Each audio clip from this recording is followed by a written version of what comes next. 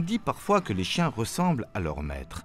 Est-ce vraiment le cas? Bah, C'est vrai que j'ai des petits traits communs parce que bon, on n'est pas de colle, toutes les deux.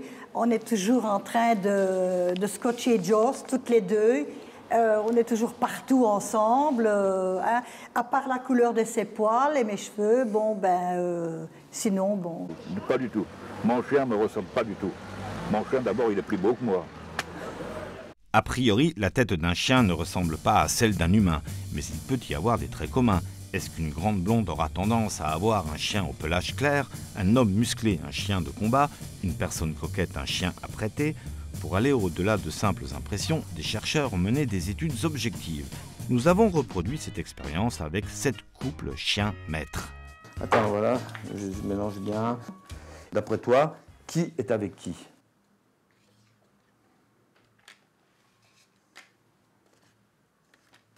2, 3, 4, 5 bonnes réponses sur 7, c'est largement supérieur au hasard. 5 bonnes réponses sur 7, c'est formidable. Qu'est-ce qui t'a, par exemple, euh, donné envie d'associer ce chien avec euh, ce maître? Un chien un petit peu original avec une personne euh, qui a l'air d'avoir un style original. Et là? Personne classique, chien très classique. T'aimes beaucoup les chiens? Euh, pas spécialement. Enfin, j'aime bien comme ça, sans plus, quoi. En plus, ouais, voilà. Non, mais c'est quand même pas mal. Enfin, disons que 3 sur 7, c'est.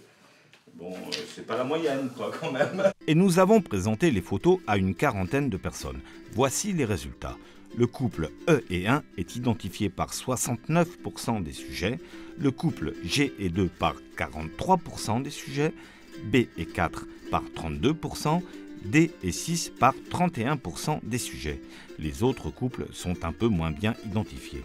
Si les gens avaient répondu au hasard, le taux de bonne réponse n'aurait pas dépassé 14% par couple chien-maître.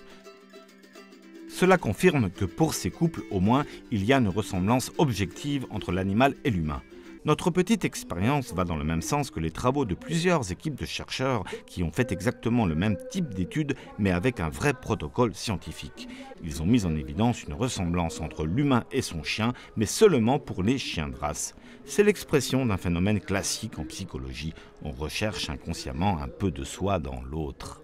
C'est vrai que je constate chez certains de, de, mes clients un tropisme pour euh, prendre des chiens qui leur ressemblent un peu physiquement. Et ce qui est sûr aussi, c'est que euh, j'ai rarement vu euh, des chiens et des propriétaires avec des traits de personnalité totalement opposés.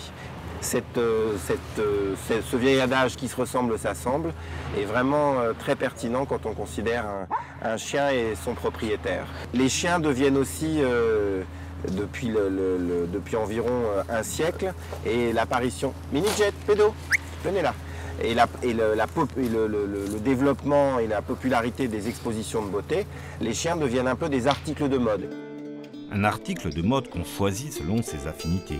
Sachant cela, vous ne regarderez plus les chiens et les humains de la même façon.